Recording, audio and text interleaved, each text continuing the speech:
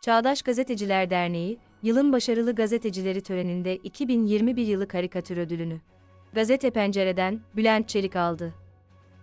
Ödülünü KESK eş genel başkanı Şükran Kablan'dan alan Bülent Çelik, karikatür güce karşı çizilir mesajını verdi.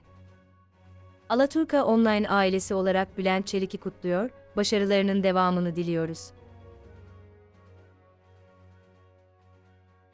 alaturkaonline.com